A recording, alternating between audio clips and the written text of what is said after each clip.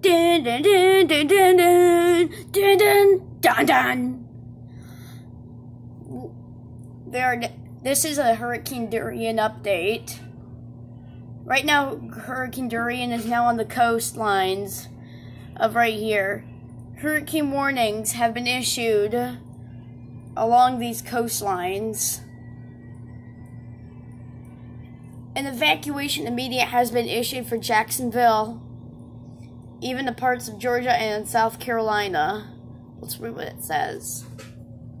Mil- mandatory evacu- hurricane evacuation for Beaufort County ordered for tomorrow at noon. Mandatory evacuation. All schools and state eight government officials will be closed beginning Tuesday. And now let's read the one for Georgia. Weather update number six. Joya, actually, I'm going to have a, somebody else read this. Hold on a minute. Okay, Paul, tell me what's going on. Weather update number six. GIA amenities and amp. Offices closed. Weather update number six. GIA amenities and amp.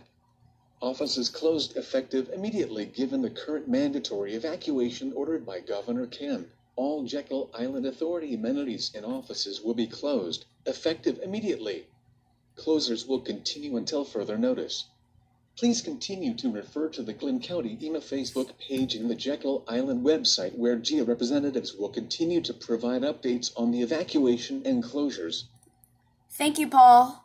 Now back to the alerts. Now let's read the evacuation order order for Delaware County, Florida. Paul, tell me what's going on.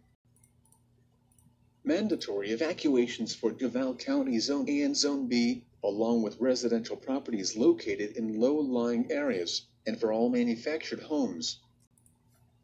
Residents who live in Zones A and B should begin to make the necessary arrangements and prepare to leave starting Monday, September 2nd. Shelters will open at 10 a.m. Monday, September 2nd. For more information, including a list of open locations and items to bring, visit jaxready.com.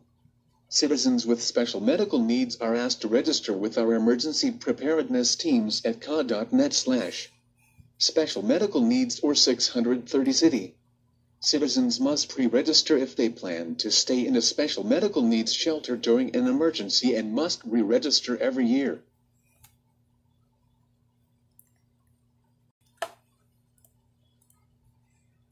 Duval County Public Schools will remain closed Tuesday, September 3rd and Wednesday, September 4th. The cities of Jacksonville Beach, Atlantic Beach and Neptune Beach have temporarily closed the waters of the Atlantic Ocean, meaning no water activities are allowed until conditions are deemed safe.